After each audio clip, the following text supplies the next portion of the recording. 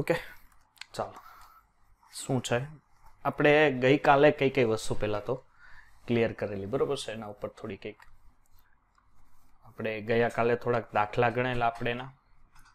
Okay? અને જે પણ કાર્ય છે કે ઉષ્મા છે, આંતરિક ઊર્જા છે, એના વિશે બધી ચર્ચા કરેલી. ઓકે? આજે આપણે દીકરા એન્થાલ્પીથી શરૂઆત કરવાની છે, બરાબર? એન્થાલ્પી છે, પછી એનું ડેલ્ટા એનજી આર્ટવાળું સૂત્ર છે. હવે આજની થોડીક ડીપીપી છે ને, દીકરા, આજની અને કાલની ડીપીપી છે ને, એ થોડીક મિક્સ કરીને કરજો, બરાબર? કારણ કે મારાથી આજની ડીપીપીમાં પેલા ક્વેશ્ચન એડ થઈ ગયા છે એન્થાલ્પીવાળા બરાબર બરોબર છે? એટલે બીજા એન્થાલ્પીવાળા જે આપણે સર્જન એન્થાલ્પી, વિયોજન એન્થાલ્પી, એ ક્વેશ્ચન એડ થઈ ગયા છે. એટલે એવું લાગે તો આજની અને કાલની ડીપીપી બી ભેગી એડ કરજો, ઓકે? ચાલો. હવે છે આપણી પાસે એન્થાલ્પી. ઓકે? એન્થાલ્પી એટલે શું થશે? કે ગાણિતિક રીતે અચળ દબાણે માપેલી પ્રણાલીની ઉષ્માને શું કહેવાશે? એન્થાલ્પી. આંતરિક ઊર્જા, બરોબર છે? તમે ધ્યાન આપજો, દીકરા, ઈની જગ્યાએ યુ પણ તમે વાપરી શકો, બરોબર છે? યુ એટલે એને આંતરિક ઊર્જા જ કહેવાશે. ઓકે? એને દીકરા આંતરિક ઊર્જા જ કહેવાશે. આંતરિક ઊર્જા અને દબાણ તથા કદના ગુણાકારના સરવાળાને શું કહેવાય છે? એન્થાલ્પી. ધ્યાન આપજો. આંતરિક ઊર્જા પ્લસ દબાણ અને કદના ગુણોકારને આ બંનેના સરવાળાને કુલ શું કહેવાશે? એન્થાલ્પી. એન્થાલ્પીનું મૂલ્ય મેળવવું શક્ય નથી. નિરપેક્ષ મૂલ્ય મેળવવું શક્ય નથી. માટે આપણે એન્થાલ્પીનો હંમેશા ફેરફાર મેળવીએ. ફેરફાર એટલે ડેલ્ટા ઈ એચ એટલે delta H final minus delta H initial okay initial એટલે થશે શરૂઆતનું અને ફાઇનલ એટલે આપણે એમ કહી શકીએ ભાઈ સર અંતિમ. ઓકે? એટલે શરૂઆતનું, અંતિમ માઇનસ શરૂઆતનું થશે. ઈ અને વી, એ માત્રાત્મક ગુણધર્મ હોવાથી એન્થાલ્પી પણ માત્રાત્મક ગુણધર્મ થશે, બરોબર છે? કારણ કે એ જે આંતરિક ઊર્જા છે અને કદ છે, એ બંને માત્રાત્મક ગુણધર્મ થાય. અને માત્રાત્મક ગુણધર્મ થતો હોવાથી દીકરા, એને તમે કુલ જે એન્થાલ્પી છે, એ માત્રાત્મક ગુણધર્મ તરીકે જ વર્તી શકે. આપણે કાલે બે વસ્તુ જોયેલી છે, માત્રાત્મક ગુણધર્મ. ઓકે? આપણે કાલે બે વસ્તુ જોયેલી છે, માત્રાત્મક ગુણધર્મ અને વિશિષ્ટ ગુણધર્મ. વિશિષ્ટ ગુણધર્મ એટલે જે પદાર્થના જથ્થા ઉપર આધારિત નથી અને આ માત્રાત્મક ગુણધર્મ જે પદાર્થના જથ્થા ઉપર આધારિત હોય છે. હવે દાખલા તરીકે પી અને વી એ બંનેમાં કંઈક ફેરફાર જોવા મળે. જો અચળ દબાણ હોય, એટલે પી અચળ છે, તો કદમાં ફેરફાર જોવા મળે.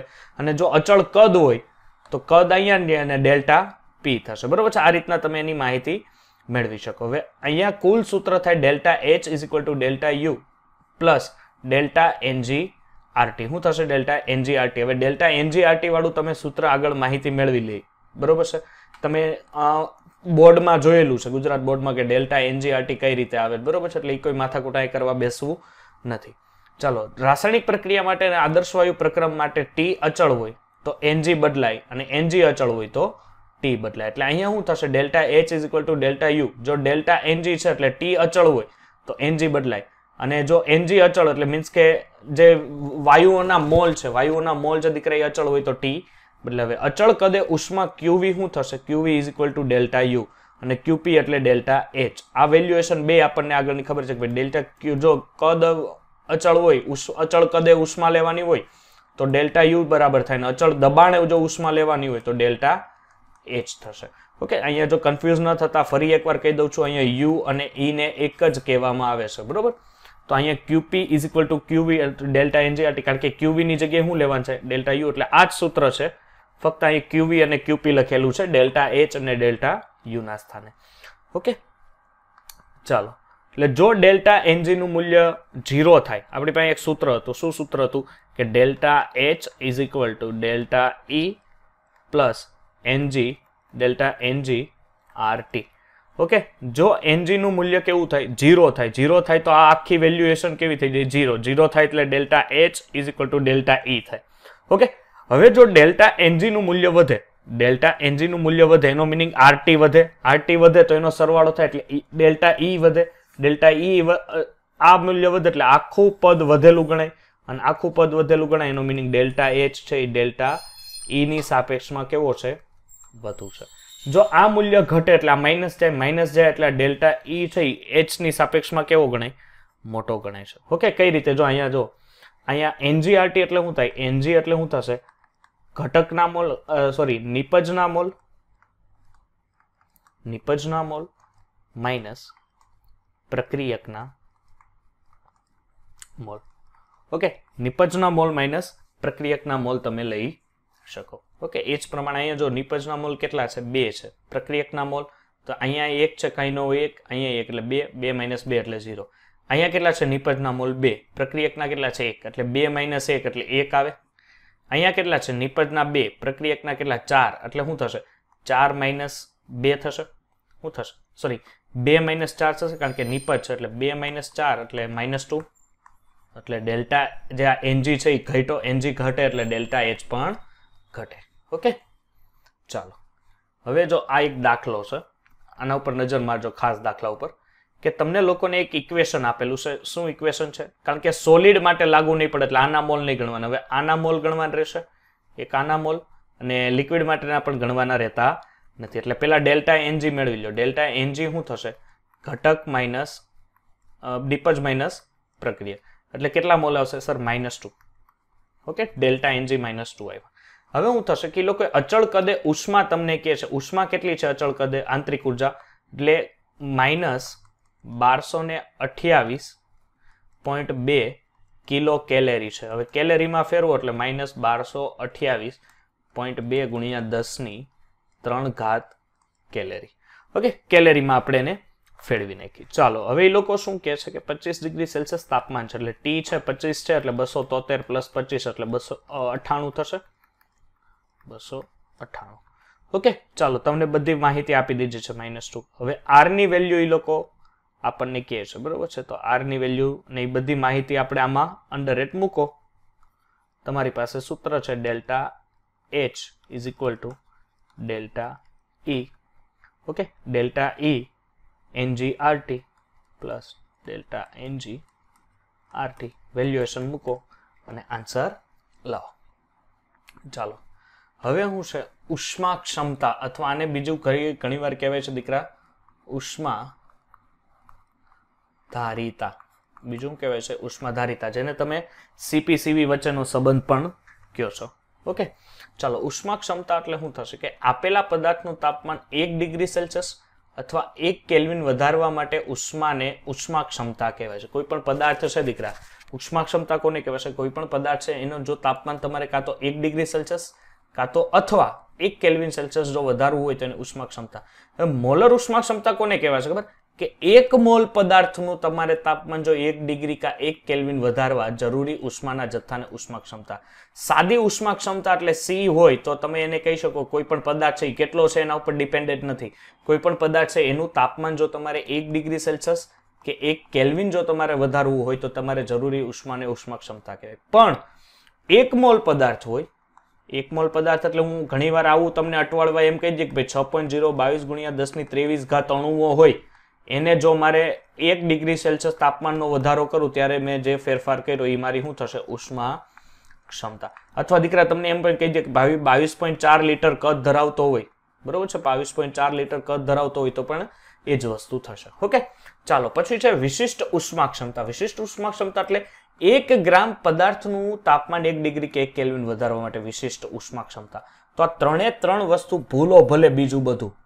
આ ત્રણ ભૂલાવા જોઈએ નહીં. સાદી ઉષ્મા ક્ષમતા એટલે શું થાય કે કોઈ પણ પદાર્થ છે એ કેટલો છે, વજનમાં એની અરે કોઈ લેવા દેવા નથી. એનું તાપમાન જો મારે એક ડિગ્રી સેલ્સિયસ કે એક કેલ્વિન વધારવું હોય તો એને ઉષ્મા ક્ષમતા કહેવાય. પછી શું છે? મોલર ઉષ્મા ક્ષમતા એટલે એક મોલ પદાર્થનું જો હું એક ડિગ્રી કે એક કેલ્વિન તાપમાનનો વધારો કરું ત્યારે મારે જે તાપમાનનો ફેરફાર મને દેખાય છે, બરોબર છે? એ એક ડિગ્રી સેલ્સિયસથી એક કેલ્વિન વચ્ચે સેલ્સિયસ વચ્ચેનો જે ફેરફાર છે, એને શું કહેવાશે મોલર ઉષ્મા ક્ષમતા અને વિશિષ્ટ ઉષ્મા ક્ષમતા દીકરા કોને કહેવાશે કે એક ગ્રામ પદાર્થ લ્યો અને એનું એક ડિગ્રી સેલ્સિયસ કે એક કેલ્વિન તાપમાનમાં જો તમે જરૂરી જથ્થાનો, ઉષ્માનો જથ્થાને વિશિષ્ટ ઉષ્મા ક્ષમતા કહેવાય છે. ઓકે? ચાલો. હવે નેક્સ્ટ છે આપણી પાસે. શું છે કે એની અમુક વેલ્યુએશન તમને લોકોને આપેલી છે? શું છે કે અચળ દબાણે શું હશે? ઉષ્મા ક્ષમતા એટલે delta H C P into delta V અને અચળ કદે સીવી લાગે. સેમ પોઝિશન જો મોલર ક્ષમતા લ્યો તો એન મોલ શું થશે? એન કોના માટે? ભાઈ એક મોલ માટે. અહીં લખેલું? એક મોલ તો સીપીએમ ડેલ્ટા ટી સર આ એમ હેનો છે. આ એમ છે, દીકરા, ધ્યાન આપજો. જો અહીંયા. દેખાય છે? હવે સીએમ લાગશે. આના માટે સીએમ, ચીફ મિનિસ્ટર નહીં, પણ કોન્સન્ટ્રેશન મોલર ક્ષમતા, બરોબર છે? ઉષ્માધારિતા, એટલે સીએમ લાગ્યું. પણ પી કોના માટે, સર? પી માટે અચળ દબાણ. અને એ દીકરા અહીંયા વી છે, વી માટે અચળ કદ. એ જ પ્રમાણે અહીંયા દીકરા મોલર. મોલર એટલે દળ. આ એમ લખ્યો છે ને એનો છે? દળનો છે. એટલે ખાસ ધ્યાન રાખજો ક્વેશ્ચન જે એક્ઝામમાં આવે છે, એને જ આપણને ગોતતા, અહીંથી જ ગોતતા. કારણ કે આ તમારા માટે ક્વેશ્ચન સોલ્વ કરવાની ગોલ્ડન કી ગણી શકાય. કારણ કે ક્યુ સૂત્ર ક્યારે મૂકવું? જો અચળ દબાણે પણ અહીંયા મોલ લખવા પડે, પણ એ કેવી ઉષ્મા ક્ષમતા હોવી જોઈએ? મોલર ઉષ્મા ક્ષમતા હોવી જોઈએ. ઓકે ત્યારે તમે અહીંયા અહીંયા નજીક આને એમ આ રીતના લખવું પડે. ઓકે તો ખાસ ધ્યાન આપજો આના માટે. ચાલો સીપીસીવી વચ્ચેનો સંબંધ. સીપીસીવી વચ્ચેનો સંબંધ માટે તો શું કરશું? પહેલા જ વસ્તુ તમને ડેલ્ટા એચ આપ્યો છે યુ આપ્યો છે, આંતરિક ઊર્જા પી છે વી છે. શું કરશો? આદર્શ વાયુ સમીકરણ મૂકો. આદર્શ વાયુ એટલે P V is equal to N R T. હવે એન કેટલા છે? એક મોલ છે એટલે P V is equal to R T હવે P V is equal to R T હોય દીકરા, એટલે શું કરશો ડેલ્ટા, સોરી, એચ માટે અહીંયા લખીએ. E plus R T. હવે તાપમાનની સાપેક્ષમાં શું કરવાનું છે? આનું વિકલન. વિકલન કરો તાપમાનની સાપેક્ષમાં એટલે ડીએચ બાય ડીટી એ જ પ્રમાણે ડીયુ અથવા ડીઈ બાય ડીટી અને આનું તમે ટીટી કહેશો એટલે અહીંયા વધશે ખાલી આર. હવે આનું જે વિકલન કર્યું, એને આધારે તમે એને જો નવું વિકલનનું મળશે, એને કહેવાય સીપી, આને કહેવાશે સીવી. Plus R. એટલે અહીંયા તમે આર ને કરતા બનાવો તો C P minus C V is equal to R, જેને મેયર સમીકરણ કહેવાય છે. શું કહેવાય છે દીકરા એને મેયર સમીકરણ કહેવાય છે, ઓકે? અને જો તમે સીપી અને સીવીને જો આ રીતના કરો કે ભાઈ સીપી બાય સીવી, તો અહીંથી જે તમને વેલ્યુ મળે એને કહેવાશે પોઈઝન ગુણાકાર, જેને ગામા પણ કહેવાય છે. તને કહેવાશે પોઈઝન ગુણાકાર. શું કહેવાશે દીકરા એને પોઈઝન ગુણાકાર. ઓકે જો આપણે એકાદો દાખલો, જો સીપીસીવીનો હોય તો જોઈએ. બરોબર છે કે નહીં? નહીં, દેખાતો તો નથી સીપીસીવીનો બરોબર છે? કે નહીં? ચાલો, આપણે આગળ થિયરીમાં છેલ્લે લઈ લેશું આપણે એને ઓકે ચાલો. હવે જુદા જુદી પ્રક્રિયા દરમિયાન થયેલું કાર્ય. હવે અહીંયા શું છે ચલિત કાર્ય, કે જે કાર્ય થાય છે જુદી જુદી પ્રક્રિયા દ્વારા એના ઉપર આધારિત છે. કે પીવી કાર્ય અને પીવી સિવાયનું કાર્ય એટલે કે કદમાં ફેરફાર બિન અનિવાર્ય છે અને કદમાં ફેરફાર અનિવાર્ય છે. એટલે બે પ્રકારની પ્રક્રિયા થાય. પ્રતિવર્ત અપ્રતિવર્તી પ્રક્રિયા અને પ્રતિવર્તી પ્રક્રિયા. ચાલો આપણે જોઈએ અહીંથી નીચે જ કે પ્રતિવર્તી સમતાપીમાં પ્રક્રિયામાં થયેલું કાર્ય. હવે શું છે કે અહીંયા પી બાહ્ય ગેસ છે. હું અહીંયા એક આ રોલર દોરી દઉં એટલે તમને આઈડિયા આવશે. જો મેં કાલે ઇન્જેક્શન વાળું ઉદાહરણ આપેલું, ખબર છે તમને લોકોને? મેં દોરેલું.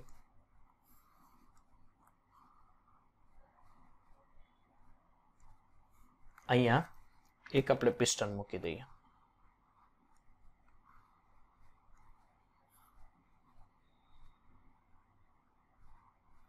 ઓકે, આ રીતનું પિસ્ટન મૂકી દીધું છે. આ રીતનું છે. હવે શું છે કે રિવર્સેબલ કાર્ય રિવર્સ હવે પી શું છે? પ્રતિવર્તી પ્રક્રિયા માટે P external is equal to P gas અને પ્લસ ટીપી હવે શું થશે કે અહીંયા અંદર વાયુ ભરેલો છે. અહીંયા હું ભરેલો દીકરા. વાયુ ભરેલો છે. હવે વાયુ. આની અંદર ઓલરેડી કંઈક દબાણ છે એટલે એને પી ગેસ કહેશું. ઓકે હવે શું થશે કે અહીંથી જેવું તમે દીકરા દબાણ આપો છો, એટલે અહીંથી જેવું તમે આ પ્રેશર ઇન્જેક્શનની અંદર ધક્કો મારશો, એટલે અહીંથી, અહીંયા ધ્યાન આપજો દીકરા, અહીંથી આને આટલો જાય છે. ઓકે અહીંયા સુધી એ પિસ્ટન જાય છે. દાખલા તરીકે એમ સમજીએ કે પિસ્ટન છે એ અહીંયા સુધી જાય છે. ઓકે એટલે આટલો એને દગા એટલે પી ગેસ હતું અને આ શું છે? ડીપી ડીપી એટલે શું થશે ખબર? પિસ્ટનને જેવો તમે ધક્કો મારો ને દીકરા, એટલે અહીંયા ઉપર શબ્દ સાંભળજો. શું છે? પ્રતિવર્તી. પ્રતિવર્તી એટલે થોડોક ધક્કો મારીને થોડુંક રિટર્ન આવશે.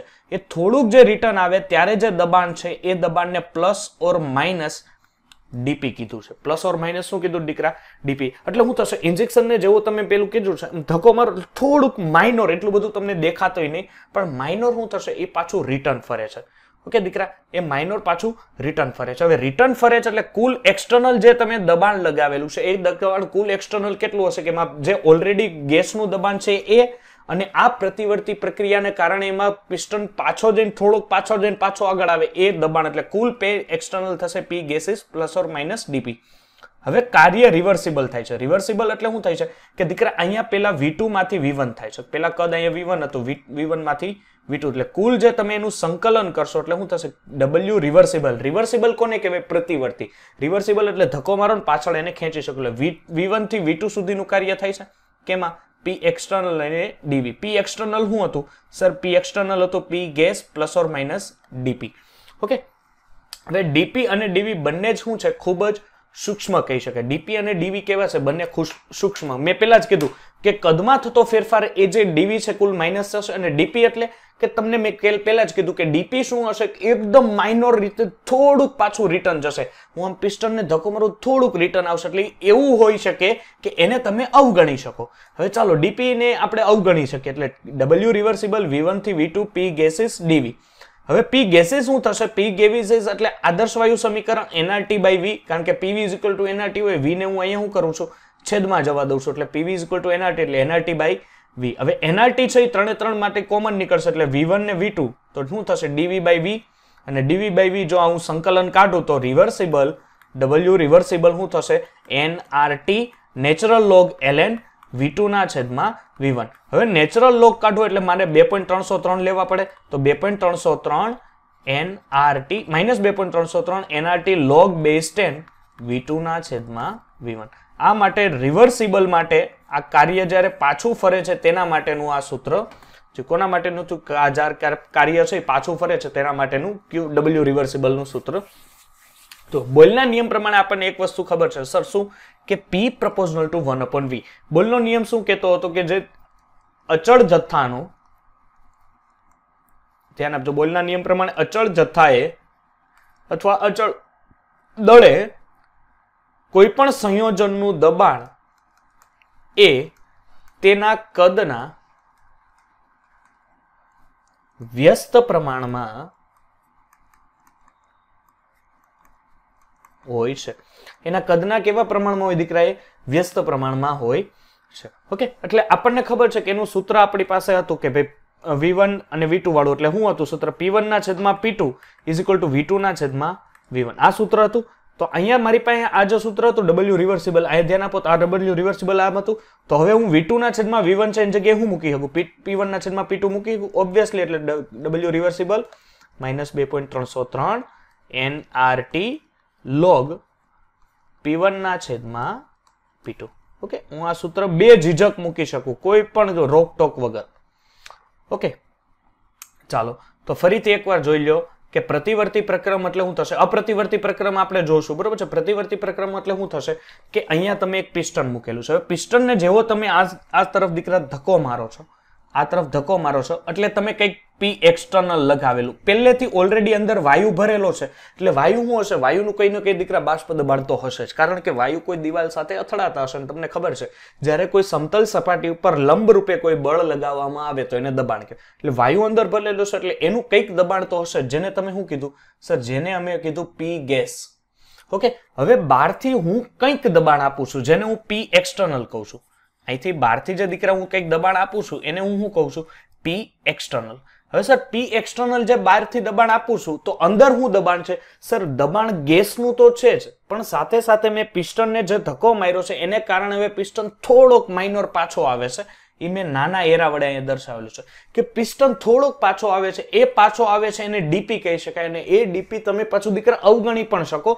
કારણ કે એટલો માઇનસ પાછો આવે છે કે તમે ધારી ના શકો કે આટલો બધો રિટર્ન કાલે મેં તમને શીખવાડું કે બે વજન લ્યો, એકમાં દસ કિલોની ગુણી રેતીની લ્યો ને એક હારે મૂકી દો અપ્રતિવર્તી થઈ જાય ડાયરેક્ટ દબાઈ જા. પણ ઓલું શું છે બે બે કિલોની રેતીની ગુણી મૂકશો એટલે વજન આવશે, થોડુંક અપ આવશે. પાછી બીજી થોડુંક અપ એટલે એમ ધીરે ધીરે તમને પ્રતિવર્તી પ્રક્રમ પણ એક સાથે જો વજન મૂકી દો કોઈ વજન કાંટા ઉપર, તો એ પ્રતિવર્તી રહેશે નહીં. ઓકે, ચાલો, પછી નેક્સ્ટ શું છે કે તો એને સંકલન તમે લોકોએ આપેલું વી ટુ માઇન વી વનથી વી ટુ કારણ કે કદમાં ફેરફાર થયો છે વી વનથી વી ટુ પછી સંકલન આપીને તમે ફાઇનલાઇઝ શું કરેલું? આ સૂત્ર છે એ આ સૂત્ર તરફ તમે આગળ વધેલાના સૂત્ર તમે લોકોએ દીકરા બનાવેલું હતું. ઓકે, ચાલો, તો આપણે હવે નેક્સ્ટ છે, એ છે પ્રતિવર્તી સમોસમી પ્રક્રમ દ્વારા થયેલું કાર્ય. ઓકે, ચાલો, હવે ઉષ્માગતિશાસ્ત્રનો પ્રથમ નિયમ અહીંયા રહ્યો. જ્યાં સમોષ્મી પ્રક્રમ હોય એટલે ક્યુ કેવો હોય? ઝીરો તો ઓબ્વિયસલી જો ક્યુ ઝીરો હશે તો delta E is equal to W થશે. કારણ કે ક્યુ તો શું છે? ઝીરો એટલે ડબલ્યુ ને જો કરતા બનાવો તો ડેલ્ટા ઈનું સૂત્ર, ડેલ્ટા ઈનું સૂત્ર સર મારી પાસે છે CV into delta T okay, અહીંયા મેં એન લખેલો છે. એન લખેલો છે એનો મિનિંગ આ શું થશે? મોલર ઉષ્મા ક્ષમતા થશે. શું થશે? મોલર ઉષ્મા ક્ષમતા. મેં આગળ દીકરા તમને કીધું. જે પેલું કોષ્ટક મેં તમને કીધેલું ગોલ્ડન લાઈન ઓકે સીપી અને સીવી ઓકે એટલે આ મોલર ઉષ્મા ક્ષમતા થઈ શું થયું દીકરા? મોલર ઉષ્મા ક્ષમતા. ઓકે એટલે મોલર ઉષ્મા ક્ષમતા થઈ હવે ડેલ્ટા ટી છે, ડેલ્ટા ટી છે એટલે દીકરા T two minus T one થશે? એટલે અહીંયા sorry into T two minus T one okay આ શું થયું દીકરા? આપણા પાસે T two minus T one હવે તમારી પાસે એક સૂત્ર હતું, ખબર છે? શું સૂત્ર હતું? Sir CP minus CV is equal to R તો અહીંયા CP by CV one minus કરી નાખું. અને અહીંયા સીવી છે અને આર કરે કારણ કે આ લસાલે સ્કૂલ. એટલે સીપી માઇનસ સીવી થશે, છેદમાં સીવી રહેશે, એટલે એક્સ્ટ્રા મેં આ સાઈડ મૂકી દીધો. જેને હું ગામા પણ કહી શકું. બીકોઝ સીપી માઇનસ સીવી ઈ પોઈઝન ગુણાકાર. બરોબર છે? આ પોઈઝન ગુણોકાર લીધેલો છે મેં ડાયરેક્ટ પોઈઝન અચળાંક. બરોબર છે? અને મેં ગામા એટલે gamma one minus R upon CV થશે. અને જ્યાં આ મેં વેલ્યુએશન મૂકી દીધી. બરોબર છે? એટલે CV is equal to one R upon gamma minus one ને સમીકરણ એક અને બે ઉપરથી આગળનું જે કાર્ય છે બરાબર છે. સીવીનું બેની વેલ્યુએશન સીવીમાં મૂકો, એટલે તમને સાબિતીમાં લાસ્ટ આ વસ્તુ તમને પ્રાપ્ત થશે. ઓકે એટલે આ બે સૂત્ર પણ નોટ કરવા. બે સૂત્ર પણ નોટ કરવા. બરાબર ઇમ્પોર્ટન્ટ છે. ચાલો, સમ કદ કદ હોય ત્યારે પ્રક્રમમાં જે સૂત્ર સાબિતી મળે છે એના માટે. તો સમકદ પ્રક્રમ હોય જ્યાં કદ સમાન હોય, એટલે મિનિંગ કે V P external delta V delta V શૂન્ય છે તો થયેલું કાર્ય પણ શું થશે? શૂન્ય. કારણ કે કદમાં કોઈ ફેરફાર જ નથી કદમાં કોઈ ફેરફાર નથી થયો, એનો મિનિંગ હું હું કહી શકું? કે એનું કાર્ય છે એ ઝીરો હશે કારણ કે કદમાં કોઈ ફેરફાર જ નથી. હવે સમ દાબી હશે એટલે પી એક્સટર્નલ પી એક્સટર્નલ હશે એટલે પી એક્સટર્નલ હોય. બરોબર છે? એટલે ડેલ્ટા પી ઝીરો છે એટલે પી એક્સટર્નલ કેવું થઈ જાય? અચળ થઈ જાય. એટલે અચળ થઈ જાય એટલે આ આખું કાર્ય પણ શું થશે? અચળ. અને મુક્ત પ્રસરણ માટે પી એક્સટર્નલ છે એ ઝીરો થઈ જાય એટલે પી એક્સટર્નલ ઝીરો તો ડેલ્ટા વી પણ ઝીરો. ડેલ્ટા વી ઝીરો એટલે ડબલ્યુ પણ શું થશે? ઝીરો થાય છે. એટલે કોઈ પણ કાર્ય થઈ શકતું નથી. ઓકે, એટલે આ એક એમસીક્યુ માટે તમને પૂછાઈ શકે. એમસીક્યુમાં પ્રશ્ન આવી શકે આવા. ઓકે, ચાલો. ચાલો. હવે એક એક ક્વેશ્ચન મૂકતો જાઉં છું. આપણે પાછું ચેટ સેક્શન ચાલુ કરી દો બરોબર છે કે નહીં? ચાલો, શું આન્સર આવશે આનો? હવે તમને લોકોને પાંચ મોલ ઓક્સિજન અચળ કદે દસ ડિગ્રી સેલ્સિયસથી વીસ ડિગ્રી સેલ્સિયસ સુધી ગરમ કરવામાં આવે છે. ઓકે? તો વાયુઓની આંતરિક ઉર્જાનો ફેરફાર જણાવો. આંતરિક ઉર્જાનો તમારે શું કરવાનો છે? ફેરફાર. આંતરિક ઉર્જાનો ફેરફાર એટલે, સર, મારે ડેલ્ટા ઈ મેળવવાનું થાય. જો દીકરા, તમને ડેલ્ટા ઈ યાદ રાખતું હોય તો ડેલ્ટા ઈ પ્રમાણે રાખી શકો. અને જો તમને ડેલ્ટા યુ યાદ રહેતું હોય તો તમે યુ યાદ રાખી શકો. સર, અચળ દબાણની ચર્ચા થાય છે ને? અચળ દબાણની ચર્ચા થશે એટલે મારે અહીંયા શું લેવું પડશે, સર? એક જ મિનિટ. અચળ દબાણે તમારે શું લેવાનું થશે? એટલે કદમાં ફેરફાર તમને આપેલો છે. સોરી એના મોલ આપેલા છે. એટલે આનું સૂત્ર થશે. આ મોલર ઉષ્મા ક્ષમતા છે એટલે N CV okay CV D ચાલો. હવે શું છે? પહેલી કામ કરવાનું છે કે તમારે સીપી તમારી પાસે છે? એક જ મિનિટ. સીપી છે તમારી પાસે પાંચ મોલ ઓક્સિજન અચળ કદે દસથી વીસ ડિગ્રી સેલ્સિયસ. એટલે તમારી પાસે સીપી અહીંયા આ લોકોએ એક જ મિનિટ થોડુંક આપેલું છે. સોરી આ મેં ક્વેશ્ચન અડધો જ લીધેલો છે. એક જ મિનિટ, હા, દીકરા. આ ક્વેશ્ચન અડધો જ લીધેલો છે મેં.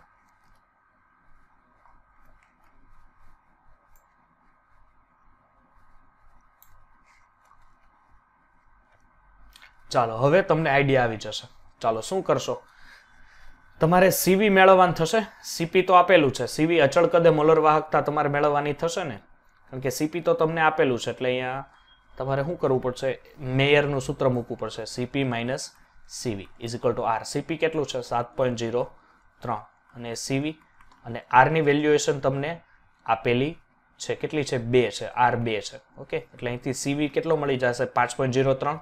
ચલો, સીવી મળી ગયો પાંચ પોઈન્ટ ઝીરો ત્રણ.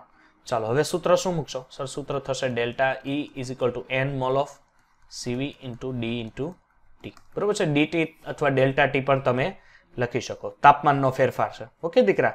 ડીટી પણ લખી શકો અને ડેલ્ટા ટી પણ લખી શકો. તમને અનુકૂળ આવે એમ લખવું. બરાબર છે? મોલ કેટલા છે? પાંચ. આ કેટલું છે? પાંચ પોઈન્ટ જીરો ત્રણ. અને તાપમાનનો ફેરફાર સર દસ થશે, કારણ કે T two minus T one એટલે પછી વીસ થાય છે અને શરૂઆતમાં દસ છે, એટલે પચું પચું, પચીસ. પચીસ ગુણ્યા દસ, એટલે બરોબર છે? તમારે બસો ને એકાવન પોઈન્ટ એક જ મિનિટ, બસો પંદર નહીં, પરંતુ બસો એકાવન પોઈન્ટ પાંચ આન્સર આવશે. ઓકે? તો તમને એક આઈડિયા આમ તમને આવી ગયો છે. હવે બીજો દાખલો આપું તો તમને આવડે. મને એવું આશા રાખું છું તમારી પાસેથી.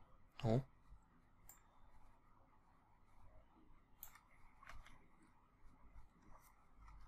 ચાલો.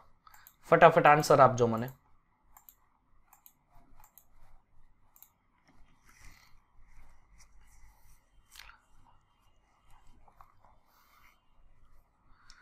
ચાલો, ફટાફટ chat section your time start now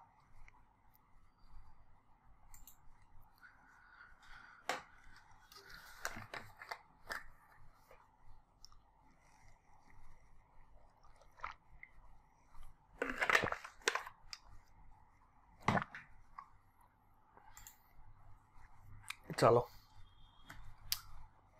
આ ચેટ સેક્શન કેમ બોલતી નથી? કેશવ, નેહા, શ્રેયાબેન, દીપાંશુ, દર્શના. ચાલો, થોડીક હિન્ટ આપું છું. સત્યાવીસ ડિગ્રી સેલ્સિયસ તાપમાને એક મોલ આદર્શ વાયુ છે. તમારી પાસે મોલ છે. સમતાપી પ્રતિવર્તી યસ સર સમતાપી પ્રતિવર્તી એટલે હમણાં જે કાર્યનું તમે પ્રતિવર્તી માટે સૂત્ર બનાવેલું, ક્યુ માઇનસ બે પોઈન્ટ ત્રણસો ત્રણ NRT log ten, V one, V છેદમાં વીવન પણ અહીંયા ચર્ચા દબાણની છે દબાણની છે કારણ કે બે એટીએમથી દસ એટીએમ ધેટ મીન્સ પી વનના છેદમાં પી ટુ મૂકવું પડશે. શું થશે? જોવો તો જરીક, ક્યાં જોવું સાહેબ? અરે અહીંયા જોવો, ક્યાં જોવું? અહીંયા જોવો. શું થશે? W is equal to minus બે પોઈન્ટ ત્રણસો ત્રણ N R T log base ten. બરોબર છે? હવે સૂત્ર હું લખશે? પી વનના છેદમાં પી માઇનસ બે પોઈન્ટ ત્રણસો ત્રણ કાર્ય મેળવવાનું છે ને? કાર્ય ઉપરથી તમને પેલા કાર્ય મેળવી લો એટલે તમને આંતરિક ઊર્જા છે આરામથી મળી જશે. ઓકે દીકરા? ચલો એન કેટલા છે? એક મોલ. આરની વેલ્યુએશન તમને કીધી છે? સર, બે બે જ લ્યો ને, કારણ કે તમને બધે અત્યારે આરની વેલ્યુ બે જ લેવાની કહેશે તો બે લઈએ તાપમાન કેટલું છે? તાપમાન સત્યાવીસ ડિગ્રી છે, એનો મિનિંગ ત્રણસો કેલ્વિન થશે? ઓકે, ચાલો. લોગ બે ના છેદમાં પાંચ. યસ મારા વાલ પાંચ પોઈન્ટ ઓગણસિત્તેર. જીલભાઈ. જોઈએ આપણે. ચાલો. એટલે બેના છેદમાં સોરી પાંચ નહીં, અહીંયા દસ છે. ઓકે ઓકે ચાલો, એ દસ છે. એટલે કુલ આનો ગુણાકાર તમે જો કરવા જશો, એટલે કુલ અહીંથી આપણે કરીએ, એટલે બે પોઈન્ટ ત્રણસો ત્રણ થશે. અને આ છસો લઈ લઈએ. આ છસો. બે પોઈન્ટ ત્રણસો ત્રણ ગુણ્યા. લોગ પાંચનો લોગ મેળવવાનો થશે ને? પાંચનો લોગ મેળવી લે. પોઈન્ટનો લોગ આઈ થિંક પોઈન્ટ ઓગણસિત્તેર નેવું જેવો હોય.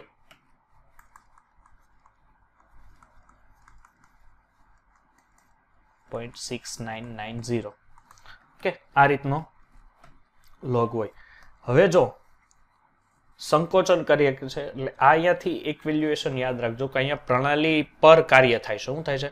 પ્રણાલી પર. પ્રણાલી પર કાર્ય થતું હશે, એટલે અહીંયા તમારે કુલ જે વેલ્યુએશન છે બરોબર છે? એ શું થશે પ્લસ આવશે. એટલે ડબલ્યુ અહીંથી તમારો છે એ પ્લસ થશે. કારણ કે પ્રણાલી પર એટલે પ્લસ થશે. તો ડબલ્યુ જો પ્લસ હોય તો એનો મિનિંગ શું થશે? કે W is equal to minus Q થાય.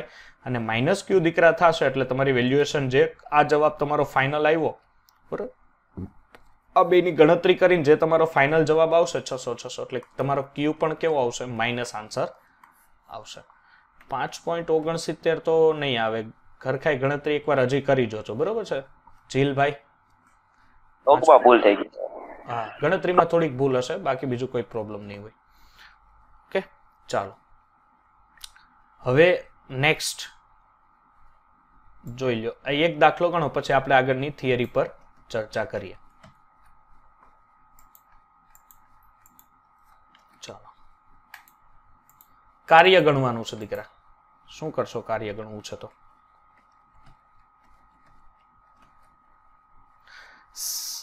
બસો ડિગ્રી સેલ્સિયસ સોરી બસો કેલ્વિન તાપમાને બે વાતાવરણ દબાણે ત્રણ મોલ પદાર્થ આપ્યો છે. ત્રણ મોલ પદાર્થ એવો સમોષ્મી પ્રક્રમ છે. બસો પચાસ કિલો એક દીકરા ધ્યાન આપજો. તાપમાનનો ફેરફાર છે. ધેટ મીન્સ આવડું આ ઉપરનું સૂત્ર નહીં લાગે. ઉપરનું સૂત્ર તો ક્યારે લાગતું? કે જ્યારે કદ અને દબાણમાં ફેરફાર હોય. એનો મીનિંગ કંઈક લોચો છે. જોઈએ. હવે અહીંયા મોલર ઉષ્મા ક્ષમતા આપી છે મોલર ઉષ્મા ક્ષમતા આપી છે એનું મિનિંગ તમને હું આપેલું છે સીવી એટલે સૂત્ર હું મૂકશો કાર્ય માટે, કાર્ય માટેનું સૂત્ર શું થશે sir W is equal to N into CV into શું થશે? તાપમાનનો ફેરફાર છે, એનો મિનિંગ ડેલ્ટા ટી ચાલો, બધી વેલ્યુએશન તમને આપેલી છે, દીકરા? બધી વેલ્યુએશનમાં સર શું છે? કે મોલ આપેલા છે ત્રણ મોલ. સીવીનું મૂલ્ય આપેલું છે, ઉષ્મા ક્ષમતા કેટલું છે? સત્યાવીસ પોઈન્ટ પાંચ. અને તાપમાનનો ફેરફાર T two minus T one T two minus T one લઈએ. ઓકે. ત્રણ ગુણ્યા સત્યાવીસ પોઈન્ટ પાંચ ગુણ્યા T two minus T one કેટલું છે? T two minus T one sir પચાસ ડિગ્રી ફેરફાર થશે? ડાયરેક્ટ કરી નાખો અને બસો ને પચાસ છે. બસો પચાસ માઇનસ યસ એકતાલીસ પચીસ. કેશવભાઈ, કેશવભાઈને આપણે વધાવીએ. શું એકતાલીસ પચીસ છે? અરે વાહ ભાઈ વાહ. પણ દીકરા, એકતાલીસ પચીસ કેમાં આવશે? એકતાલીસ પચીસ આવશે જૂલમાં આવશે. હુંમાં આવશે? જૂલમાં આવશે. ઓકે, તાપમાન પછી સીવીનો અને મોલના તો એકમ આપણે લેતા નથી.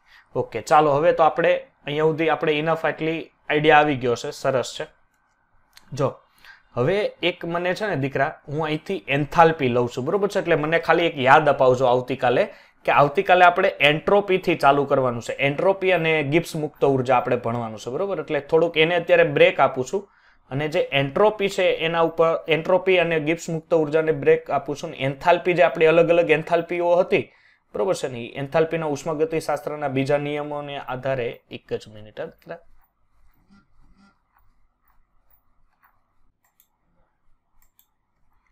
ચાલો, એન્થાલ્પી છે. તો એન્થાલ્પી વિશેની માહિતી પહેલી તો વસ્તુ કે એન્થાલ્પી ફેરફાર તમને અહીંયા આપેલો છે. ઓકે? એન્થાલ્પી ફેરફાર વચ્ચે આપણે પ્રક્રિયા એન્થાલ્પી ને બધી પરિસ્થિતિ, એન્થાલ્પી છે, બધી જ એન્થાલ્પી વિશેની માહિતી અહીંયા આપણે મેળવવાની છે. ઓકે? ચાલો, તો અહીંથી આપણે શરૂઆત કરીએ. એક જ મિનિટ, હું છે ને ત્યાં સુધી બીજો ટોપિક પણ મૂકી દઉં, એટલે આપણે કોઈ ટેન્શન રહીએ નહીં. ચાલો. તો એન્થાલ્પી વિશેની માહિતી, ચાલો જોઈ લઈએ. શું છે કે એન્થાલ્પી ફેરફાર પ્રક્રિયાનો ડેલ્ટા આરએચ અને પ્રક્રિયા એન્થાલ્પી કહેવાય. જ્યારે પ્રક્રિયા દરમિયાન થતો એન્થાલ્પી ફેરફાર એ પ્રક્રિયા એન્થાલ્પી કહેવાય. બરોબર? દાખલા તરીકે કોઈ પણ પ્રક્રિયા હોય, એ પ્રક્રિયા દરમિયાન જે એન્થાલ્પીનો ફેરફાર થાય, એ એન્થાલ્પી મેળવતો હોય તો પણ ભલે, અને દીકરા એન્થાલ્પી ગુમાવતો હોય તો પણ ભલે. એટલે પ્રક્રિયા સમયે જે પણ એન્થાલ્પીનો ફેરફાર થશે, એને પ્રક્રિયા એન્થાલ્પી કહેવાય છે. પ્રક્રિયા એન્થાલ્પી છે, એના માટેનું સૂત્ર છે, નિપજના એન્થાલ્પીનો સરવાળો, માઇનસ પ્રક્રિયાની એન્થાલ્પીનો સરવાળો. આ સૂત્ર તમને લાગુ પડતું હશે. ઓકે જ્યાં વી અને પ્રક્રિયા અને નિપજનો તત્વયોગમિતીય ગુણાંક છે. જો આ લખ્યું છે ને, એ શું છે? એનો દીકરા તત્વયોગમિતીય ગુણાંક. તત્વયોગમિતીય ગુણાંક એટલે એના મોલ. જો અહીંયા લખેલું છે સૂત્ર, શું છે? કે ભાઈ એન છે plus three mole of H છે ગેસિયસ સ્ટેપમાં છે બધી જ વસ્તુ, અને અહીંયા two mole of NH three છે. તો આની માટે કુલ એન્થાલ્પી ફેરફાર એટલે આર એચ લખીએ, તો અહીંયા શું થશે? નિપજ એટલે ટુ નિપજની એન્થાલ્પી, અહીંયા એમોનિયાની અહીંયા એન્થાલ્પી લખી નાખવાની લખી નાખવાનું એમોનિયાની એન્થાલ્પી માઇનસ. પછી પ્રક્રિયકોની એન્થાલ્પી એટલે H two H mole of N two અને ત્રણ એચ એચ ટુ બરોબર છે, આ મોટો એચ દેખાય છે ને એન્થાલ્પીનો એચ છે. ઓકે? ચાલો. હવે છે પ્રક્રિયા એન્થાલ્પી.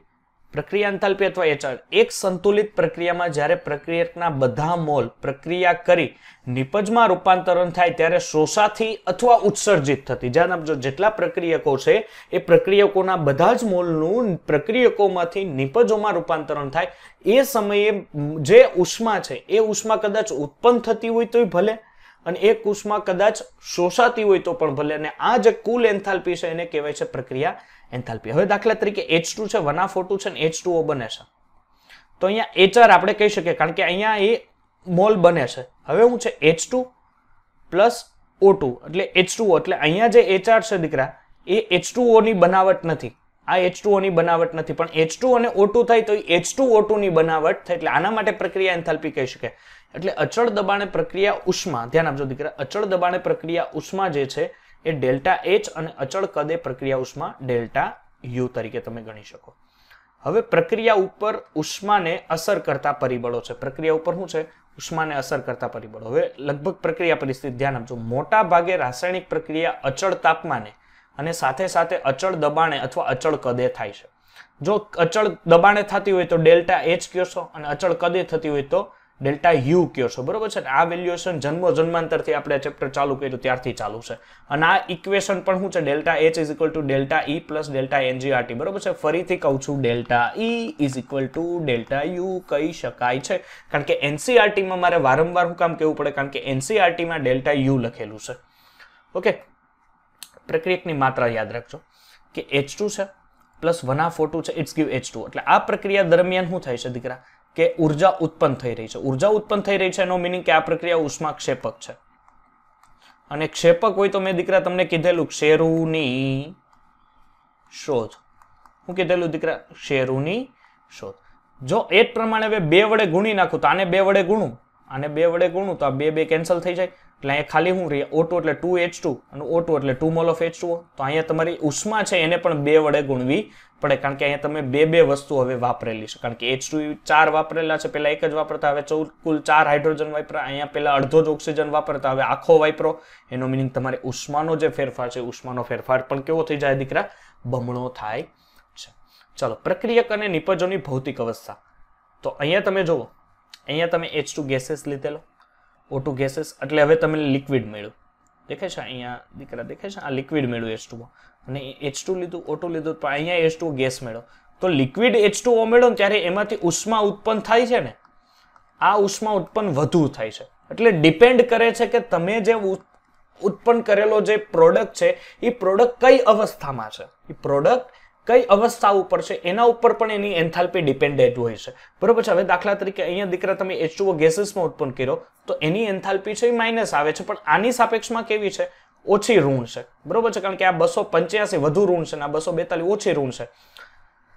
જો નિપજની ભૌતિક અવસ્થા જુદી જુદી હોય તો ડેલ્ટા એચનું તાપમાન પણ કેવું હોય છે દીકરા? જુદું જુદું હોય છે. જો એચ ટુ પ્રવાહીની સર્જન enthalpy H two H delta H વધુ નેગેટિવ અને વેપરની સર્જન એન્થાલ્પી કરતાં પણ વધુ ઋણ હોય છે. વાયુ કરતાં પણ કેવી હોય છે? વધારે ઋણ. અહીંયા ઓબ્વિયસલી સર એ મૂલ્ય દેખાય જ છે મને. હવે દાખલા તરીકે અપર રૂપ હોય. અપર રૂપ એટલે શું થશે? કે દાખલા તરીકે કાર્બન છે અપર બે છે, એક અહીંયા કાર્બનનો ગ્રેફાઇટ લીધેલો છે અને એક ડાયમંડ લીધેલો છે. બેની ઓક્સિજન સાથે પ્રક્રિયા કરતા બે સીઓ ટુ બના પણ ગ્રેફાઇટ સમયે જે ઊર્જા ઉત્પન્ન થાય છે એ આવી ત્રણસો માઇનસ ત્રણસો ને ત્રાણું થાય છે. પણ ડાયમંડ જ્યારે લ્યો છો, ત્યારે જ્યારે દહન પ્રક્રિયા થાય છે અને જે ઉષ્મા ફેરફાર થાય છે માઇનસ ત્રણસો ને નવ્વાણું પોઈન્ટ પાંચ કિલો જૂલ પર મોલ જેટલી ઉષ્મા દીકરા ડાયમંડ સાથે જ્યારે કાર્બન છે એ કાર્બન, ડાયમંડનો કાર્બન છે, એ જ્યારે ઓક્સિજન સાથે રિએક્શન કરે છે, ત્યારે એટલી એ ઉષ્મા એમાંથી ઉત્પન્ન કરે છે. હવે છે ઉષ્માના અલગ અલગ ફેરફાર. બરોબર છે? ઉષ્માના અલગ અલગ ફેરફાર, જેમાંથી સર્જન એન્થાલ્પી હશે કે બીજી બીજી અલગ અલગ એન્થાલ્પીઓ તમે એમાં જોઈ શકો.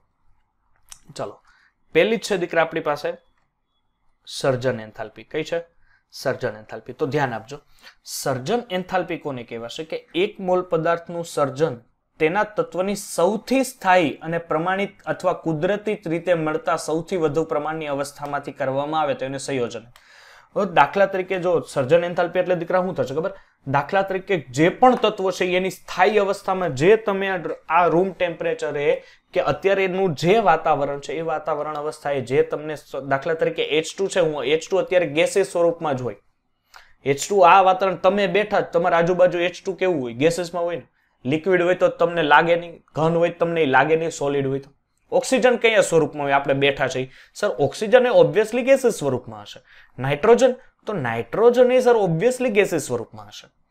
તો જ્યારે કોઈ તત્વ પોતાની મૂળ અવસ્થામાં હોય, ધ્યાન આપજો, જ્યારે કોઈ તત્વ દીકરા પોતાની મૂળ અવસ્થામાં હોય અને મૂળ અવસ્થામાંથી જ કોઈ સંયોજનનું નિર્માણ કરે મૂળ અવસ્થામાંથી જ કોઈ સંયોજનનું નિર્માણ કરે તો એને એની સર્જન એન્થાલ્પી કહેવાય છે. હવે તમે ઓક્સિજન લ્યો, કાર્બનના બે સ્વરૂપ હોય મૂળ અવસ્થામાં, ગ્રેફાઇટ હોય, એમાંથી કાર્બનના ઘણા સ્વરૂપ હોય. કાર્બન આપણે લઈએ તો કાર્બન ડાયમંડ હોય, બધું બધું ગ્રેફાઇટ હોય, પછી કાર્બન બકીબોલ હોય, ઘણા સ્વરૂપ હોય, પણ એમાંથી સૌથી જે સ્થાયી સ્વરૂપ છે કાર્બન ગ્રેફાઇટનું છે. બરોબર છે? કયું છે? કાર્બન ગ્રેફાઇટ જે તમને આ સ્વરૂપે સૌથી વધારે મળી શકે. દેખાય છે એચ ટુ ગેસીસમાં જ હોય, વાતાવરણમાં ઓ ટુ ગેસીસમાં હોય, એટલે એની સર્જન એન્થાલ્પી હોકે કહી શકાય. એચ ટુ ગેસીસ હોય એન ટુ ગેસીસ હોય અહીંયા લખેલું છે. ઓકે? એન ટુ પણ ગેસીસ હોય અને એચ ટુ પણ ગેસીસ હોય. ઓકે? એટલે એટલે એમાંથી એક મોલ એચએનઓ થ્રી મળે છે, એટલે આ બરોબર સર્જન એન્થાલ્પી થઈ. હવે સોડિયમ છે એ સોલિડ હોય. કારણ કે સોડિયમ આપણે સોડિયમ ધાતુ છે એ વાતાવરણમાં તમે એમને હોય તો એ ઘન અવસ્થામાં જ હોય. બરાબર છે? પ્રવાહી કે એમાં કોઈ એમાં હશે ને એટલે વાતાવરણમાં હશે એટલે દીકરા ઘન અવસ્થામાં જશે જો ઘન અવસ્થામાં જશે તો આપણે ઓબ્વિયસલી કહી શકીએ કે ભાઈ એની મૂળ અવસ્થા છે. ઓટુ છે એ વાતાવરણ આ સમયે ગેસીસમાં જશે અને એચ ટુ પણ કેમાં હશે? ગેસીસમાં એટલે એમાંથી તમને જો એક મોલ એને ઓએચ મળે છે, એનો મિનિંગ એ પરફેક્ટ એની સર્જન એન્થાલ્પી થઈ. ચાલો, હવે સર્જન એન્થાલ્પી માટેનું એ જ સૂત્ર લાગુ પડે, જે આપણે કુલ એન્થાલ્પી માટે કે નિપજોની એન્થાલ્પીનો સરવાળો માઇનસ પ્રક્રિયકોની એન્થાલ્પીનો સરવાળો. બરોબર છે? નિપજોની એન્થાલ્પી તમને અહીંયા A mole of A B mole of B C mole of C અને ડી મોલ ઓફ ડી આ બે તમને માહિતી આપેલી છે. Okay? C capital small C અને સ્મોલ ડી શું છે? એના તત્વયોગમિતીય ગુણાંક, જેને તમારે ઓબ્વિયસલી એન્થાલ્પી વડે ભાગવા સોરી ગુણવા પડે. ચાલો, શું છે હવે? સમઘટકો અથવા અપર રૂપોની સ્થાયીતાની સરખામણી. જો દાખલા તરીકે હવે તમારી પાસે ડેલ્ટા એચએફના મૂલ્યના પ્રણાલીના ઉષ્મા જથ્થા તરીકે ધ્યાનમાં લેવામાં આવે, આથી સમઘટકો અને અપર રૂપો જેની સર્જન ઉષ્માનું મૂલ્ય ઓ સૌથી ઓછું હોય તો તે સૌથી વધારે સ્થાયી હોય. દાખલા તરીકે અહીંયા તમે જુઓ અહીંયા આનું સર્જન એન્થાલ્પીનું મૂલ્ય આનું માઇનસ સાહીઠ છે, એટલે ઓછું થયું, કારણ કે જીરોથી તો માઇનસ થયું, અને આનું દીકરા ચાલીસ છે. એનો મિનિંગ સર્જન એન્થાલ્પીનું મૂલ્ય જેમ ઓછું બરોબર છે? એટલે પ્રોપીન બનાવવો અઘરો પડશે સાયક્લોપ્રોપેનની સાપેક્ષમાં. તો પ્રોપીન બનાવવું ઓછો અઘરો સોરી અઘરો પડે, એનો મિનિંગ એની સ્ટેબિલિટી કેવી હશે? વધારે હશે. એટલે અહીંયા દ્રિબન છે. કારણ કે અહીંયા ક્યાંય દ્રિબંધ નથી. અને આપણને ખબર છે, સર દ્રિબંધ હોય તો બંધને તોડવા માટે આપવી પડતી ઊર્જા વધારે. એટલે આ વધારે સ્ટેબલ થશે. કોની સાપેક્ષમાં? સાયક્લોહેક્ઝન એટલે ઓબ્વિયસલી ક્લિયર થઈ ગયું. જો બે જુદા જુદા અણુ હોય દીકરા, બે જુદા જુદા અણુ હોય, અથવા ઘટકોની સ્થાયીતાના સરખામણી કરવા આ સંકલ્પનાનો ઉપયોગ કરી શકાય નહીં, દાખલા તરીકે સીઓ ટુ અને એચ ટુ હોય તો આના માટે આ લાગુ પાડી શકાતું નથી.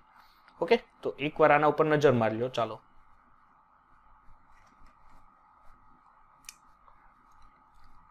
હું, જો હું આની પ્રમાણિત અવસ્થા માટેની માહિતી લખું છું, તમે યાદ રાખી લેજો, બરોબર છે? આ ગોલ્ડન કીઝ હું અહીંયા મૂકું છું. એક એના ઉપર નજર મારી લેજો. કયું તત્વ ક્યારે પ્રમાણિત અવસ્થામાં હશે? ઓકે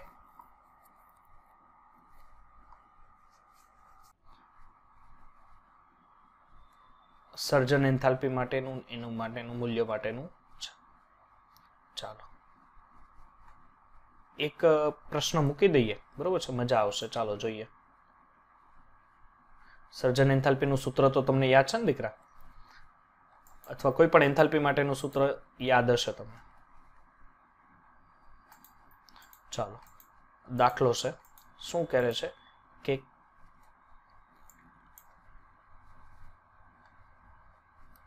કેલ્શિયમ ઓક્સાઇડ છે. કેલ્શિયમ ઓક્સાઇડ છે. એની કાર્બન સાથે પ્રક્રિયા કરતા એક પોઈન્ટ બે સોરી એક પોઈન્ટ અઠ્યાવીસ કિલોગ્રામ કેલ્શિયમ કાર્બાઇડ બનાવે છે. હવે એની સાથે આપણે પહેલાં તો રિએક્શન કેલ્શિયમ ઓક્સાઇડ છે. એની કાર્બન સાથે પ્રક્રિયા કરતા એ કેલ્શિયમ કાર્બાઇડ બનાવતો એનો મિનિંગ એ સાથે સાથે કાર્બન મોનોક્સાઇડ પણ અથવા ડાયોક્સાઇડ પણ છૂટો કરતો હશે. એટલે અહીંથી કાર્બન મોનોક્સાઇડ છૂટો પડતો સમીકરણને સંતુલિત કરવા મારે આને કાર્બન આ બાજુ ત્રણ ત્રણ વડે ગુણવા પડશે. બરાબર? બીજું કોઈ સમીકરણ સંતુલિત કરવાની જરૂર નથી. હવે શું છે કે કેલ્શિયમ ઓક્સાઇડ છે એ સોલિડ ફોર્મમાં હશે. આ પણ સોલિડ ફોર્મમાં છે. એટલે ઓબ્વિયસલી આ કેલ્શિયમ કાર્બન મોનોક્સાઇડ છે ગેસીસમાં હશે, બાકી બધા જ સોલિડમાં હશે. ઓકે હવે એના માટે આની સર્જન એન્થાલ્પી કારણ કે આ કેલ્શિયમ છે એની મૂળ અવસ્થામાં નથી. આ કાર્બન છે એ પોતાની મૂળ અવસ્થામાં કહી શકે, એટલે સર્જન એન્થાલ્પી કોની કોની થશે? એટલે કુલ તમારે શું મેળવવાનું છે? કેટલી દબાણે ઉષ્માની જરૂર પડશે? એટલે ઊર્જા તમારે સર્જન એન્થાલ્પી મેળવવાનું છે. એટલે શું થાય? નિપજની એન્થાલ્પીનો સરવાળો. સરવાળો. એટલે સરવાળો એમ નહીં પણ સરવાળો. અને માઇનસ પ્રક્રિયકની એન્થાલ્પીનો સરવાળો. પ્રક્રિયકની એન્થાલ્પીનો સરવાળો ચાલો, નિપજની એન્થાલ્પી નિપજ તરફ તો ખાલી તમારે કાર્બન મોનોક્સાઇડ વાળું જ લેવું પડશે કે? બરોબર છે. પ્રક્રિયકો એટલે કેલ્શિયમ કાર્બાઇડ અને કાર્બન મોનોક્સાઇડ, એટલે બે વસ્તુ તમને આપેલી છે એન્થાલ્પીમાં. એટલે માઇનસ ચૌદ પ્લસ માઇનસ છવ્વીસ. ઓકે? કારણ કે આ બે વસ્તુ તમને આપેલી છે. અને આ બાજુ તો ખાલી કેલ્શિયમ ઓક્સાઇડની જ લેવાની છે. તો કેલ્શિયમ ઓક્સાઇડની કેટલી છે? માઇનસ એકસો ને બાવન. ચાલો ગણતરી કરો આન્સર લાવો. શું થશે? એકસો ને બાર સમથિંગ જેવું આવશે. એકસો બાર કિલો કેલેરી જેવું તમને મળી જશે. બરોબર છે? પ્લસ એકસો બાર. એટલે તમને દબાણે કેટલી ઉષ્માની જરૂર બને છે. બરોબર છે? એકસો બાર જેવું આવશે. પણ કુલ જરૂરી ઉષ્મા માટે તમારે મેળવવાનું છે ને? કારણ કે તમને એકસો એક પોઈન્ટ અઠ્યાવીસ કિલો જૂલ માટે તમારે મેળવવાનું છે. આ તો તમે સાદું કીધું, પણ હવે તમને અઠ્યાવીસ માટે કીધું છે, એટલે તમારે એને ગ્રામમાં ફેરવવું પડશે, એટલે અગિયારસો ને એક જ મિનિટ, બારસો ને એસી ગ્રામ થશે ને? કારણ કે એક પોઈન્ટ અઠ્યાવીસ છે, એટલે બારસો ને એસી. કેલ્શિયમ કાર્બાઇડ માટે એનું વજન ચોસઠ ગ્રામ થશે. કુલ ઉષ્મા તમારે કેટલી આવેલી? એકસો ને બાર આવેલી. એટલે કુલ આને ગુણાકારને ભાગાકાર કરશો, એટલે લગભગ આઈ થિંક જવાબ ચાર આવે છે, બરોબર? આની ગણતરી કરશો, એટલે જવાબ ચાર આવે એટલે આટલો જવાબ આવે. ઓકે, ચાલો. હવે છે આપણી પાસે ઉષ્મા છે. એ છે દહન ઉષ્મા. શું છે દીકરા? દહન ઉષ્મા. ચાલો, દહન ઉષ્મા માટેની માહિતી. દહન ઉષ્મા એટલે શું થશે? કે એક મોલ પદાર્થનું વધુ પ્રમાણમાં ઓક્સિજન દ્વારા સંપૂર્ણ દહન કરવામાં આવે, ત્યારે ઉત્પન્ન થતી ઉષ્માને શું કહેવાય છે? દહન ઉષ્મા કહેવાય. છે. બરોબર છે? તમે એક મોલ પદાર્થ લ્યો, દાખલા તરીકે એક પાત્ર લ્યો છો. એક પાત્રની અંદર એક મોલ ઘન પદાર્થ લ્યો છો. અને આ પદાર્થ છે લગભગ કાર્બનિક પદાર્થ હોવો જોઈએ. લગભગ કાર્બનિક પદાર્થ હોવો જોઈએ. ઓકે, કાર્બનિક પદાર્થ જ્યારે એ કાર્બનિક પદાર્થ કેટલો હોવો જોઈએ? એક મોલ હોવો જોઈએ. અને એને જ્યારે તમે હીટ પામો અને એનું જ્યારે દહન થાય, ત્યારે ઉષ્મા, ઉત્પન્ન થતી જે ઉષ્મા છે, ઉત્પન્ન થતી ઉષ્માને શું કહેવાય છે દીકરા? દહન ઉષ્મા કહેવાય છે. ઓકે? ચાલો એને દહન ઉષ્મા. હવે જો દહન ઉષ્મા માટેની અમુક શરતો યાદ રાખજો કે દહન ઉષ્મા છે, બરોબર છે? દાખલા તરીકે તમે બ્યુટેન લ્યો, તો બ્યુટેનનું દહન કરો ને લગભગ અઠ્યાવીસો સમથિંગ કિલો જૂલ જેવી. મને પૂરો આઈડિયા નથી, પણ આટલી કિલો જૂલ જેટલી ઊર્જા ઉત્પન્ન કરે છે. એટલે બ્યુટેન સર કેમાં ભરવામાં આવે? તમને આઈડિયા છે દીકરા, બ્યુટેન કેમાં ભરવામાં આવે જેને આન્સર ખબર હોય મને જરીક જણી ગયો તો કે બ્યુટેન કેમાં ભરવામાં આવે? ચેટ.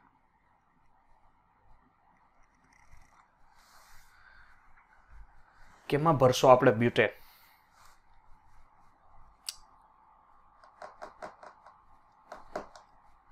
યસ, કોઈ તો છે. સીએનજી ગેસ, નેહા, સીએનજીમાં હશે બ્યુટેન? એલપીજી? હવે તમને લિક્વિડફાઈ પેટ્રોલિયમ ગેસ અથવા પેલું ગેસ. હવે જો એલપીજીમાં તમને ખબર છે, બ્યુટેન તમે ભરો બરોબર? બ્યુટેન આરે બ્યુટેનની કોઈ વાસ ન હોય, વાસ વિહીન હોય. તો એમાં વાસ આવે એના માટે તમે શું નાખો? યાદ છે કઈ? યસ ઇથાઇલ મરકેપ્ટન નાખો. બરોબર છે? ઇથાઇલ મરકેપ્ટન તમે એમાં એડ કરો છો. કારણ કે એની કોઈ વાસ હોતી નથી. જો લીકેજ થાય તો તમને ખબર કેમ પડે કે આ ગેસ લીકેજ છે? એટલે એના માટે શું નાખવામાં આવે છે ઇથાઇલ મરકેપ્ટન એડ કરવામાં આવે છે. ઓકે એટલે એના માટે અમુક દહન પ્રક્રિયા માટે નોંધ છે. જે ધ્યાન આપજો એ નોંધ ઉપર ખાસ એક કારણ કે એમાંથી હેરાન કરે છે દહન પ્રક્રિયામાં. આ નોંધ ખાસ યાદ રાખજો કે દહન પ્રક્રિયા હંમેશા ઉષ્માક્ષેપક. કારણ કે તમે કોઈ પણ વસ્તુને બાળો છો એટલે એમાંથી ઓબ્વિયસલી ઉષ્મા ઉત્પન્ન થવાની છે. બરોબર છે એટલે એટલે એ પ્રક્રિયા ઓલવેઝ ઉષ્માક્ષેપક છે. જો પરિસ્થિતિની ઉલ્લેખન કરેલ હોય, ત્યારે હંમેશા ડેલ્ટા એચ કમ્બન્શન જો ધ્યાન આપજો સી ઓ એમ બી લખેલું છે એનું મિનિંગ કમ્બન્શન કમ્બન્શન એટલે દહન કરવું. ઇંગ્લિશમાં એને કમ્બન્શન કહેવાય, ગુજરાતીમાં દહન કરવું. અથવા બે રીતે લખેલું હોય, કે કમ્બન્શનને ડેલ્ટા એચ ઝીરો કમ્બન્શન તરીકે તમારે લેવું. જો પ્રક્રિયામાં પ્રક્રિયકો અને નિપજોની દહન ઉષ્મા આપેલી હોય, તો પ્રક્રિયાની દહન ઉષ્મા નીચે પ્રમાણે ગણવી. બરોબર છે?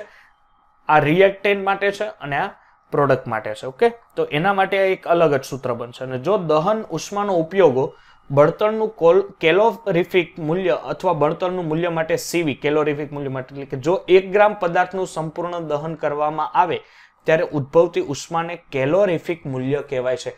પહેલામાં હું હતું, મેં આગળ હું કીધેલું કે એક મોલ ઘન પદાર્થને કયા? એક મોલ કાર્બનિક પદાર્થને તો કોઈ પણ એક કાર્બનિક સંયોજનને જ્યારે દહન કરવાનું પણ અહીંયા લોકો શું કહે છે કે કેલોરેફિક મૂલ્ય તમારે મેળવવું હોય, તો એક ગ્રામ ઘન પદાર્થને જ્યારે તમે દહન કરો ત્યારે કેલોરેફિક મૂલ્ય મળે. એટલે કેલોરેફિક મૂલ્ય એટલે ડેલ્ટા એચનું મૂલ્ય અને તેનું આણવીય દર્જને જેને એકમ તરીકે આ રીતના તમે મેળવી શકો છો. ઓકે? તો ચાલો, એકાદો કેલેરીનો જ્યાં સુધી દાખલો ના આપણે જોઈએ, ત્યાં સુધી આપણને જીવમાં શાંતિ બેસે નહીં ચાલો ઓકે? ચાલો, હવે તમને હું આપ્યો છે એક મોલ મિથેનોલ.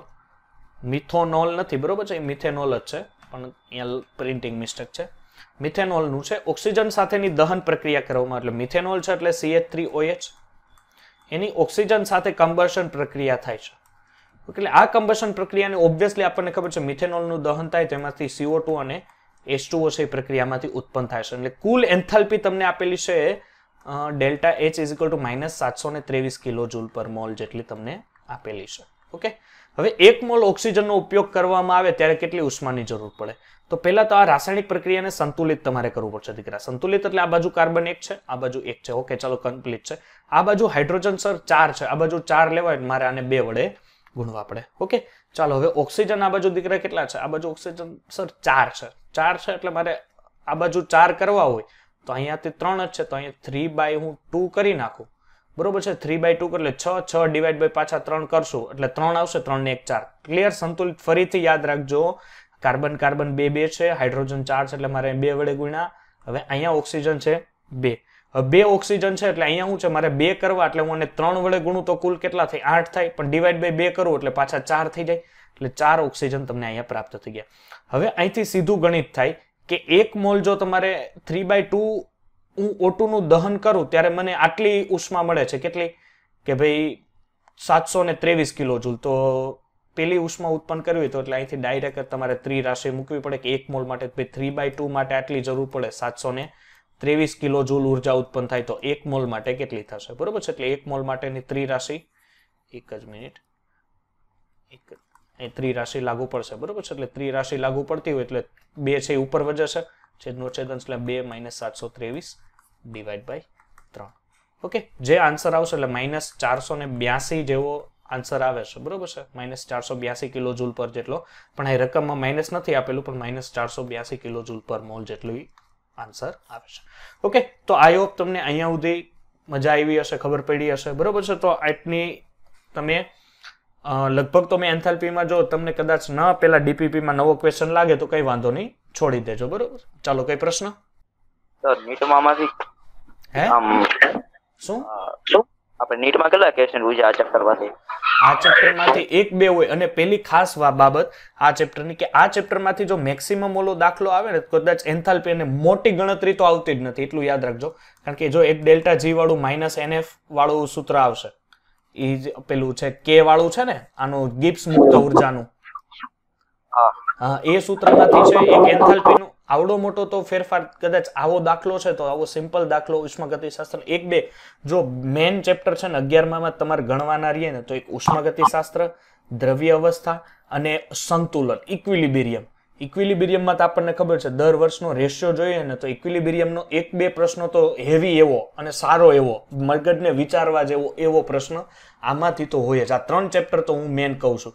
હું પરમાણુ બંધારણને એક સમયે હું સાઈડમાં મૂકી શકું પણ થર્મોડાયનેમિક્સ કેમિકલ કાઇનેટિક્સ અને સ્ટેટ ઓફ મેટર આમાંથી તો એક સારો ક્વેશ્ચન તો હોય જ, તમને મગજને વિચારવાના તમને વિવશ કરી દે. બરોબર છે? એવો ક્વેશ્ચન એક તો એમાંથી તો હોય જ છે.